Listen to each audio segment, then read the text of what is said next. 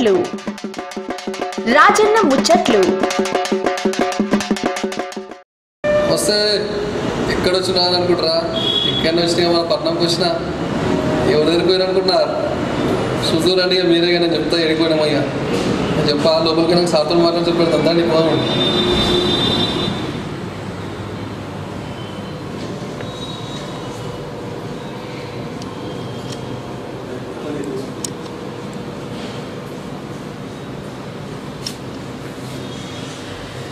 అని చెప్పి ఇక్కడ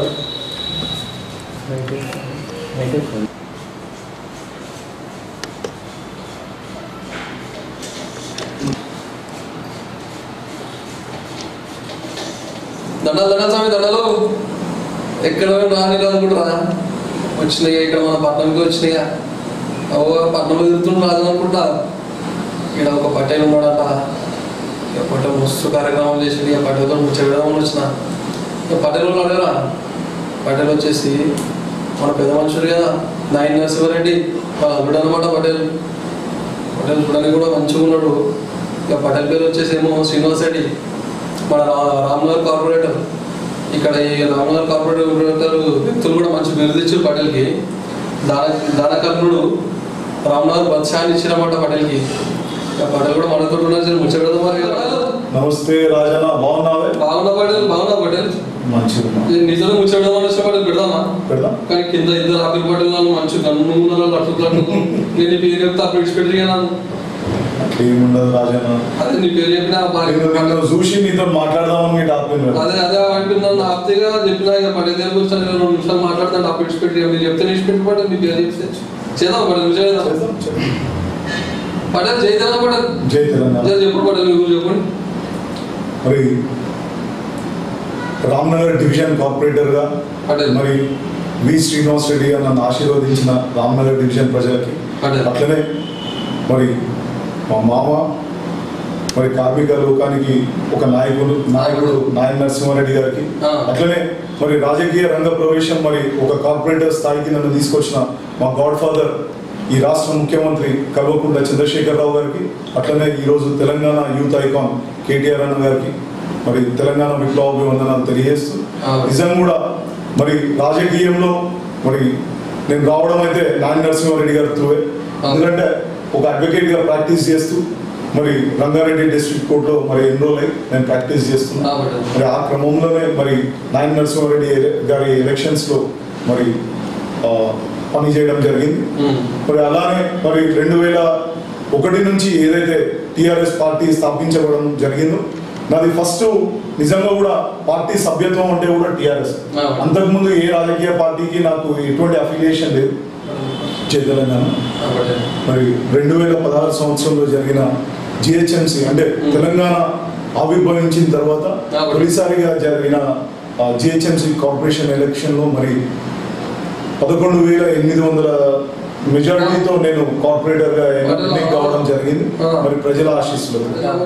రాజకీయాలకు ఎందుకు వచ్చినప్పటిలో ప్రజలు ఇంతకుముందు మన అమ్మ నాన్న రాజకీయం చేసి రాలేకుంటే కుటుంబ సభ్యులు రాజకీయంలో నువ్వు రాజకీయాలకు వచ్చినప్పటి ఎందుకు రాజకీయంలో? ఆ, నాది మధ్యతరగతి కుటుంబం మా ఫాదర్ అంటే మా బాపు. ఆ, మన ఆర్టీసీలో ఒక కార్మికుడుగా పనిచేయడం జరిగింది మరి తర్వాత పంతొమ్మిది వందల తొంభై ఎనిమిదవ సంవత్సరంలో. నాయన నరసింహారెడ్డి గారి కూతురుతో వివాహం తర్వాత. మరి రాజకీయ ప్రవేశం జరిగింది అనుకోవచ్చు రాజకీయంతో అనుబంధం అనేది ఏర్పడడం జరిగింది. నాయన నరసింహారెడ్డి గారు మరి అప్పటికే ఒక కార్మిక నాయకుడిగా ఆ. అప్పటికి రెండు సార్లు ఎమ్మెల్యేగా కూడా వారు ఉండడం జరిగింది మరి మన యునైటెడ్ ఆంధ్రప్రదేశ్లో కూడా ఆయన ఒక పెద్ద. ఫిగర్. మరి ఆయన తోని ఏదైతే మాకు సంబంధం ఏర్పడిన తర్వాతనే మరి. ప్రత్యక్ష రాజకీయాల్లోకి రావడం మొట్టమొదటిగా రాజకీయాలకు ఏ పార్టీలో పటేల్ మరి టీఆర్ఎస్ పార్టీకి ఇట్లా ఎందుకు రావాలనిపించిన పటేల్ మరి నాయన నరసింహారెడ్డి గారి పర్సనాలిటీకి అట్రాక్ట్ అయ్యి స్టూడెంట్ లైఫ్ నుంచి కూడా మరి ఒక పార్టీ కానీ కాదు అప్పటికి ఆయన జనతా పార్టీ జనతా దళలో ఉన్న. మరి ఆయనకు అనుచరులుగా పనిచేయడం జరిగింది. తర్వాత మరి రెండు వేల ఒకటిలో. మరి టిఆర్ఎస్ స్థాపించడం. మరి నాయన నరసింహారెడ్డి గారు టిఆర్ఎస్లో జాయిన్ కావడం. మరి ఆ రోజు నుంచి కూడా తెలంగాణ రాష్ట్ర సమితిలో. ఒక కార్యకర్తగా చురుగ్గా నేను ఉన్నాను పటేలా మరి మీరు మన మరి ఉద్యమం బాగా ఊపంపు ఊపందుకుంది కాబట్టి రెండు వేల పద్నాలుగు రెండు వేల పదమూడు ఆ టైంలో మరి ఆ సమయంలో ఏమైనా మీ పాత్ర ఉందా పట్టేలా అన్నారు? పోలీస్ కేసు వీల్ కేసు ఏమైనా అయినా పట్టేలా దెబ్బలు కూడా ఏమైనా పడ్డాయి? పట్టేలా ఉద్యమంలో చేద్దాం నువ్వు పట్టేలా రెండు వేల ఒకటి నుంచి కూడా పార్టీ స్థాపించిన రోజు నుంచి మరి పార్టీలో చురుగ్గా ఉండడం జరిగింది. ఆ. సభ్యత్వ కార్య నమోదు కార్యక్రమాలు వీటన్నిటితో పాటు. మరి ముఖ్యంగా మరి ఖమ్మంలో. ఎక్కడైతే సార్ని తీసుకోవడం జరిగిందో సార్తో పాటు నాయన నరసింహారెడ్డి గారిని. కెప్టెన్ లక్ష్మీకాంత్ రావు గారిని విజయరామారావు గారిని తీసుకోవడం జరిగింది. మరి వాళ్ళు ఎంబడి ఉండడం జరిగింది. అక్కడ మరి కేసీఆర్ గారి పైన. మరి అప్పటి పోలీసులు చేసిన దౌర్జన్యం అవును. అవన్నింటిలో కూడా ప్రత్యక్షంగా ఉండడం జరిగింది మరి ఆ క్రమంలో మరి లోపల జరుగుతున్న సంఘటనలు అన్ని కూడా. మరి ఒక వీడియో రికార్డింగ్ కూడా చేసి బయట మీడియాకు కూడా అందించడం జరిగింది. దాంతో కూడా మరి కేసీఆర్ గారి మన్ననలు ఆ. మరి ఆయన ఆశీస్సులతో మరి ఈ రోజు టిఆర్ఎస్లో ఒక కార్పొరేటర్గా అంత మంచి ఉంది అవకాశం వచ్చినావు మరి ఆ కార్పొరేటర్లో పోటీ చేసావు ఇంటికి వెళ్ళి ప్రచారం చేసావు కాబట్టి అప్పుడు ప్రజలు ఏ విధంగా స్పందించి పట్టిన మరి ఏమైనా సమస్యలు చెప్పినా లేదా ముందే పట్టణం అంటే భయం అవుతుంది ఈ వారం చూస్తే డ్రైనేజ్ ప్రాబ్లమ్ ఆ ప్రాబ్లం బాగానే ఉంటాయి. మరి పనులు ఏ ఏ సమస్యలు చెప్పిన పట్టాలని వందకి వంద శాతం ఆ రోజులలో ఉన్న సమస్యల గురించి చెప్పారు ఏదైతే. మోరీలకు సంబంధించినవి కానీ రోడ్లకు సంబంధించినవి కానీ రెండు వేల పద్నాలుగులో పార్టీ పదవిలోకి రావడం ప్రభుత్వం రావడం. రెండు వేల పద్నాలుగులోనే ప్రభుత్వం రావడం. మరి ఆ రోజు అంటే ప్రభుత్వం వచ్చిన తర్వాత జరిగిన తొలి ఎన్నికలు జిహెచ్ఎంసీ ఇంటింటికి తిరుగుతున్నప్పుడు ముఖ్యంగా నాకు నిజంగా కూడా అడ్వాంటేజ్ ఏమైందంటే. నాయన నరసింహారెడ్డి గారు ఈ కాన్స్టిట్యున్సీ నుంచి రెండు సార్లు ఎమ్మెల్యేగా అప్పటికే. ఒకసారి మంత్రిగా ఉన్నారు. రెండోసారి మంత్రిగా అవును. ఉన్నారు అయితే అప్పుడు ఆయన చేసిన కార్యక్రమాలు మరి నల్లాలు కానివ్వండి రోడ్లు కానివ్వండి లేకపోతే పట్టాలు ఇవ్వడం ఇటువంటి అన్ని కూడా ప్రజలు మళ్ళీ గుర్తు చేయడం జరిగింది. ఎందుకంటే మంచి చేసిన ఎప్పుడు కూడా ప్రజలు మర్చిపోరు. అదే క్రమంలో ఎప్పుడైతే నాకు సీట్ సార్ ఎప్పుడైతే సీఎం గారు అనౌన్స్ చేసిండ్రో ఉమ్. ఎప్పుడు ప్రజలలోకి పోయి ఎప్పుడైతే డైరెక్ట్గా ఎలక్షన్స్లో పాదయాత్రలు చేస్తుంటే. వాళ్ళు అడిగిన సమస్యలు ఒకటి డబుల్ బెడ్రూమ్ తర్వాత మోరీలకు సంబంధించి. మరి రోడ్ రోడ్స్ సంబంధించి. బేసిక్ కమ్యూనిటీ సీఎం అన్నారు వాళ్ళు. ఏమి గొంతమ్మ కోరికలు ఎవరు కూడా ప్రజలు ఎప్పుడు అడగరు. ఈ. రోజు అడగలే ఆ రోజు కూడా అడగలేదు ఒక్కరి గురించి కూడా అడగరు వాళ్ళు. సమాజం గురించి ప్లస్ సమాజం మంచిగా ఉండాలని అడిగారు. ఈ రోజు వాళ్ళు ఎంచుకున్న కార్పొరేటర్ వాళ్ళు ఇచ్చిన అవకాశంగా మరి ఈ రోజు నేను ఎన్నిక కావడం జరిగింది. మరి బాగానే సమస్యలు చెప్పారండి. నీకు గెలిచినావు పట్టేలా నీకు సంబంధించిన అవకాశం వచ్చింది గెలిచినావు. మంచి భారీ మెజార్టీతో గెలిచి పట్టేలా మరి గెలిచినాక పనులు చేసినావు పట్టేలా మరి మన డివిజన్లో ముఖ్యంగా మరి ఈ రోజు నేను కార్పొరేటర్గా నాకు అవకాశం ఇచ్చిన తర్వాత. నేను నాకు అంటే ఒక మనిషి పుట్టినప్పటి నుంచి చనిపోయే వరకు ప్రజలలో ఒక గుర్తింపు రావాలంటే ఏదైనా ఒక ఐకానిక్ ప్రోగ్రామ్. మరి నాకు సంబంధించి నా డివిజన్లో. లంబాడ్ తండ అనే ఒక. ఏరియా ఉంది నా డివిజన్లో మరి వాళ్ళకి సంబంధించి నూట ఇరవై ఆరు డబుల్ బెడ్రూమ్ స్కీమ్ తీసుకురావడం జరిగింది. నిజంగా కూడా మరి దాదాపు నలభై సంవత్సరాల నుంచి లంబాడాలో అక్కడ గుడిసెల్లో ఉండడం జరిగింది. మరి వాళ్ళందరూ కూడా మరి వాళ్ళని ఒకసారి మన ప్రభుత్వం ప్రతిష్టాత్మకంగా అంటే కేసీఆర్ గారి మానస పుత్రిక డబుల్ బెడ్రూమ్. అంటే ఇల్లు లేని వాళ్ళకి ఇల్లు ఇవ్వాలి అనే ఒక సంకల్పం దృఢ సంకల్పంతో సార్ ఏదైతే ఆ.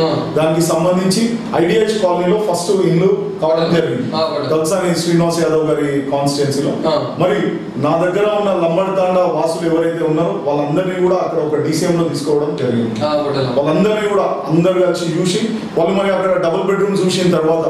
డబుల్ బెడ్రూమ్ మరి టైల్స్ ఫ్లోరింగ్ రెండు బెడ్రూమ్లు రెండు బాత్రూమ్లు ఒక కిచెన్.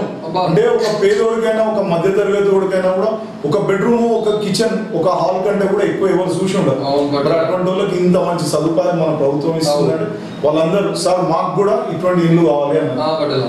అన్న వెంటనే మరి నాయన నరసింహారెడ్డి గారు అప్పటికే మంత్రిగా ఉన్నారు. మరి నాయన నరసింహారెడ్డి గారు దృష్టికి తీసుకోవడం. మరి నాయన నరసింహారెడ్డి గారు మరి కేటీఆర్ అన్న దృష్టికి తీసుకోవడం జరిగింది. మరి ఇమ్మీడియట్గా మరి కేటీఆర్ అన్న స్పందించి మరి ఆ లంబర్దాండ ఒకవేళ వెకేట్ చేస్తే మ్మ్. ఇమ్మీడియట్గా మనం డబుల్ బెడ్రూమ్ తీసుకొస్తామని చెప్పాను. అన్న అన్నదే అన్న ప్రకారమే మరి ఇమ్మీడియట్గా దానికి కొబ్బరికాయ కొట్టడం. పనులు స్టార్ట్ చేద్దాం అనేసి చేయడం జరిగింది. కానీ కొంతమంది మరి ఆ రోజు లేదు లేదు కొంత కొన్ని పార్టీలు అవును. పార్టీలు ఏమన్నారంటే రే మీరు గిట్ట ఇవి గుడిసెలు ఖాళీ చేస్తే. వీళ్ళు దీన్ని కబ్జా చేసి మిమ్మల్ని ఎటు కాకుండా చేస్తారని చెప్పారు అబ్బా చెప్తే ఆ రోజు మరి వాళ్ళ వాళ్ళ మధ్య నుండి ఒకవేళ ఇక్కడ కనుక డబుల్ బెడ్రూమ్ కట్టకపోతే ఇదే ప్లేస్లో నేను ఉరేసుకొని చచ్చిపోతా. మీకు డబుల్ బెడ్రూమ్ హండ్రెడ్ పర్సెంట్గా కట్టించి తీరుతామని చెప్పడం జరిగింది.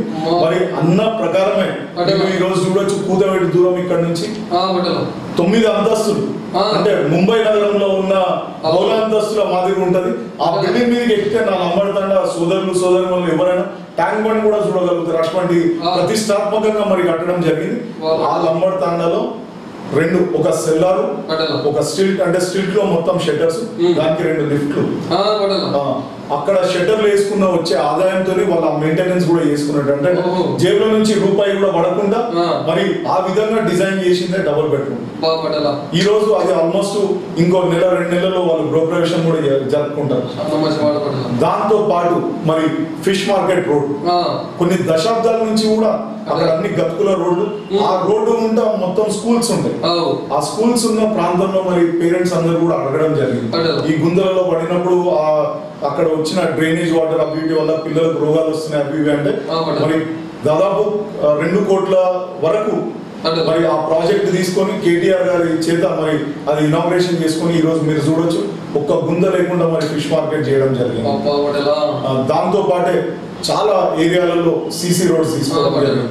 మరి నాయన నరసింహారెడ్డి గారి ఎమ్మెల్సీ ఫండ్స్ నుంచి కూడా కమ్యూనిటీ హాల్ ఒకటి ముప్పై ఆరు లక్షలది కంప్లీట్ చేసినాం Hmm. ఇంకోటి ఇరవై ఆరు లక్షలతో ఇంకోటి కంప్లీట్ చేసినాం ఇంకోటి డెబ్బై లక్షలతో కమ్యూనిటీ హాల్ అది కూడా స్టార్ట్ అవ్వ అవ్వబోతున్నది. మరి అంటే ఇవి ఎందుకు చెప్తున్నాం అంటే కమ్యూనిటీ హాల్స్ దేనికి అంటే పేద బడుగు ప్రజలు ఉండే ప్రాంతం రామ్నగర్ డివిజన్. ఎక్కువ స్లమ్స్ ఉండే ప్రాంతం.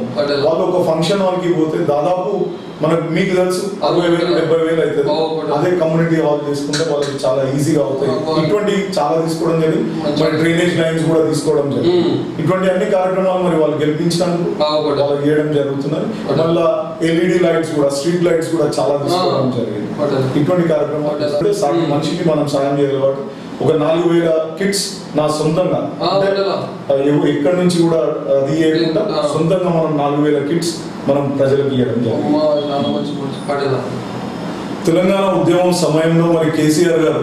ఏదైతే లంబాడి తాండాలు లేకపోతే చాలా బీద ప్రజల ఏరియాలో ఎప్పుడైతే తిరిగిండో ఆయన ఆయన ఆయన సొంతంగా తీసుకున్న నిర్ణయం కళ్యాణ లక్ష్మి షాదీ ముబారక్. వాస్తవానికి ముషిరాబాద్ నియోజకవర్గంలో చాలా మంది అంటే ఎస్సీస్ కొంతమంది ఎస్టీస్. మరి మైనారిటీ ప్రజలు ఎక్కువ ఉన్నారు దాంట్లో హైదరాబాద్ అంటే భాగ్యనగరం అంటే ధనవంతులు ఉండే ప్లేస్ అనేసి ఊర్లో ఊర్లో ప్రజలు అనుకుంటారు. కానీ హైదరాబాద్లో కూడా స్లమ్స్ ఎక్కువ ఉంటాయి దాంట్లో ముఖ్యంగా ముషిరాబాద్ నియోజకవర్గంలో స్లమ్స్ ఎక్కువ ఉంటాయి ఒక బిడ్డ పెళ్ళి చేయాలంటే వంద క్వశ్చన్స్ వాళ్ళ బ్రెయిన్లో తడతా ఉంటాయి. అటువంటి తరుణంలో మరి కేసీఆర్ గారి ద్వారా వచ్చిన కళ్యాణ లక్ష్మి పథకం ద్వారా. కొన్ని వేల మందికి ఇక్కడ వాళ్ళకి దొరకడం జరిగింది. ఫస్ట్ యాభై ఒక వెయ్యి తర్వాత డెబ్బై ఐదు వేలు తర్వాత ఈ రోజు లక్ష. నూట పదహారు రూపాయలు. అదే కాకుండా మళ్ళా వితంతు పెన్షన్లు. విడో వితంతు పెన్షన్లు. ఓల్డ్ ఏజ్ పెన్షన్స్ ఒంటరి మహిళ. ఇటువంటి అన్ని కూడా దాదాపు అంటే నాకు తెలిసిన ప్రకారం దాదాపు అరవై వేల మంది లబ్ధిదారులు మన ముషిరాబాద్ నియోజకవర్గంలో దాదాపు అంటే ఓల్డ్ ఏజ్ పెన్షన్స్ వీళ్ళందరూ కూడా అంటే బెనిఫిషియర్స్ బెనిఫిషియరీస్ అందరూ కూడా ఉన్నారు కాబట్టి. వాళ్ళందరూ కూడా ఎలక్షన్స్లో మేము లాస్ట్ టైం పోయినప్పుడు. మేము పోయినప్పుడు నిజంగా కూడా ఇదేదో మీకు ఛానల్కి చెప్పడం అది కాదు. ఎగ్జాజరేట్ చేసినట్టు కూడా కాదు. వాళ్ళతో మాట్లాడుతుంటే. నువ్వు ఎందుకు వస్తావు బిడ్డ మా కొడుకే మాకు ఇస్తున్నాడు నెలకి పైసలు ఇస్తున్నాడు ఏం ఇబ్బంది లేదు మేము ఇస్తాం చదువుకున్న వాళ్ళ దగ్గరికి పోయినప్పుడు వాళ్ళు చెప్పింది ఒకటే ఏంటంటే.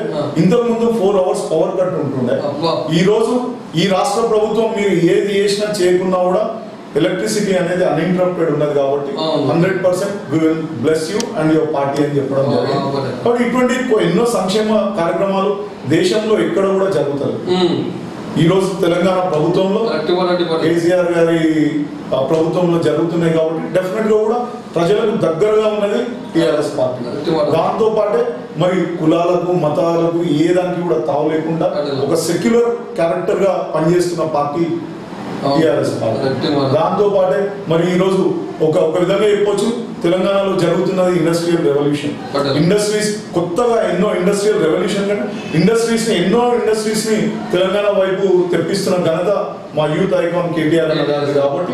రానున్న రోజుల్లో ఎందుకంటే ఒకటేసారి అన్ని కావాలని కొన్ని పార్టీలు మాట్లాడుతుంటాయి అట్లా ఇన్ని సంవత్సరాలు వాళ్ళు ఏది చేయలేదు ఈ రోజు టీఆర్ఎస్ పార్టీ చేస్తుంది కాబట్టి రానున్న రోజుల్లో ఇంకా అభివృద్ధి నిజంగా కూడా విశ్వనగరం డెఫినెట్గా అవుతుంది ఎందుకంటే హైదరాబాద్కి ఆ చరిత్ర ఉంది.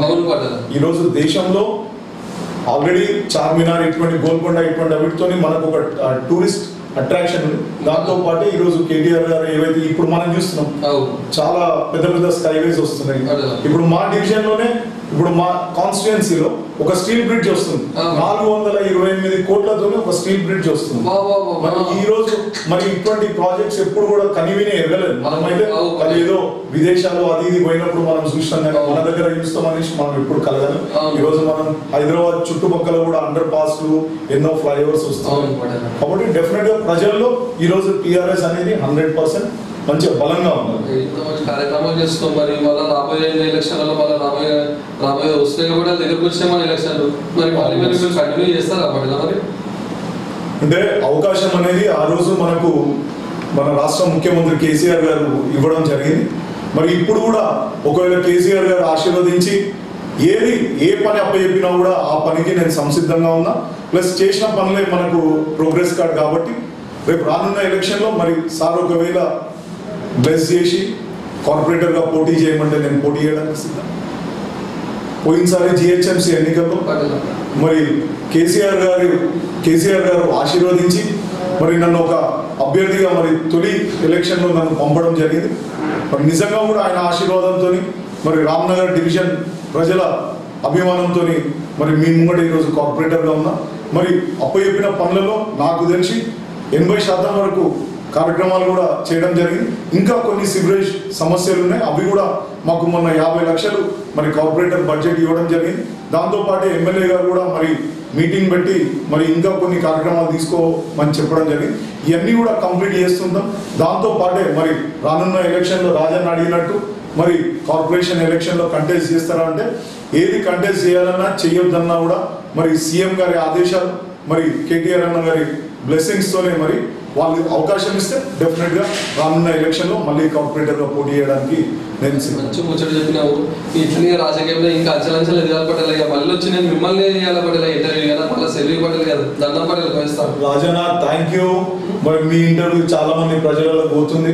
మా అటువంటి చిన్న కార్యకర్తలకి ఇది ఎంతో ఆ, అది ఇస్తుంది కాబట్టి మళ్ళా నువ్వు పో పోయేది ఉట్టిగా పోకు ఛాయ్ తాగేసి పో.